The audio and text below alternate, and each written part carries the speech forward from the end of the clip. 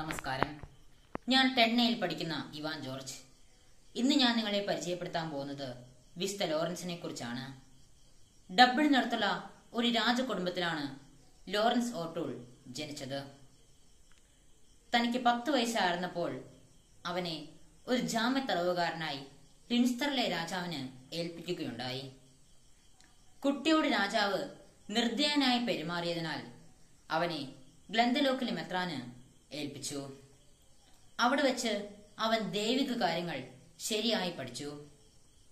തനിക്ക് പന്ത്രണ്ട് വയസ്സുള്ളപ്പോൾ അവൻ പിതാവിന്റെ പക്കലേക്ക് മടങ്ങി.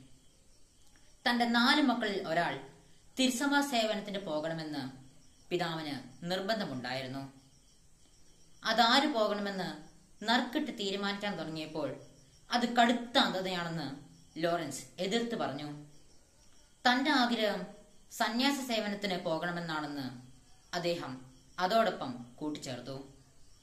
അങ്ങനെ ബ്ലെന്തലോക്കിലെ മെത്രാന്റെ അടുത്ത് അദ്ദേഹം വീണ്ടും താമസമർപ്പിച്ചു.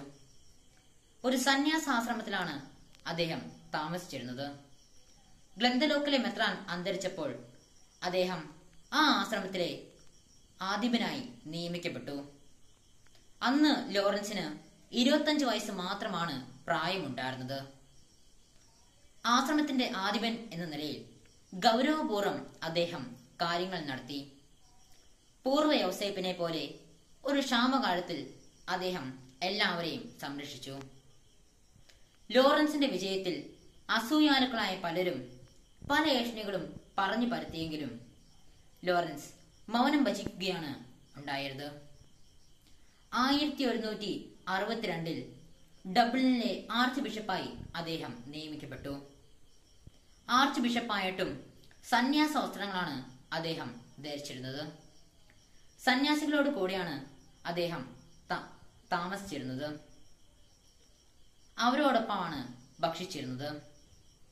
രാത്രി അവരോടൊപ്പം പ്രാർത്ഥിച്ച ശേഷം ദേവാലയത്തിൽ പോയി ദീർഘനേരം ഒറ്റയ്ക്കിരുന്ന് അദ്ദേഹം പ്രാർത്ഥിക്കുമായിരുന്നു. അദ്ദേഹം മാംസം കഴിക്കുകയുണ്ടായിരുന്നില്ല. എല്ലാ വെള്ളിയാഴ്ചകളിലും അദ്ദേഹം ഉപവസിച്ചിരുന്നു. ദിനം പ്രതി മുപ്പത് ദരിദ്രർക്ക് അദ്ദേഹം ഭക്ഷണം നൽകിയിരുന്നു. ഒരു ദിവസം കാന്തർബറി കത്തീഡ്രലിൽ കുർബാന ചെല്ലാൻ ചെന്നപ്പോൾ ഒരു ഭ്രാന്തൻ അദ്ദേഹത്തിന്റെ തലയിൽ വടികൊണ്ട് ഒന്നടിച്ചു.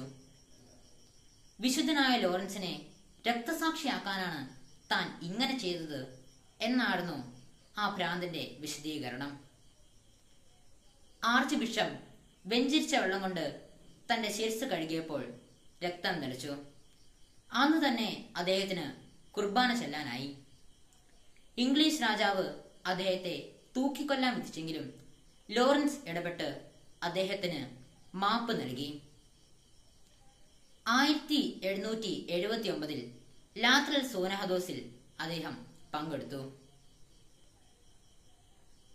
അയർലൻഡിലെ അലക്സാണ്ടർ തൃതീയൻ മാർപ്പാപ്പ അദ്ദേഹത്തെ പേപ്പൽ പ്രതിനിധിയായി നിയമിച്ചു.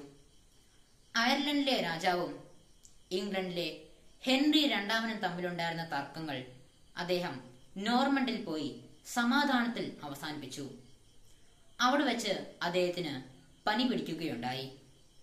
ആയിരത്തി അറുന്നൂറ്റി എൺപത് നവംബർ പതിനാലിന് അദ്ദേഹം ഇഹലോകവാസം വെടിഞ്ഞു.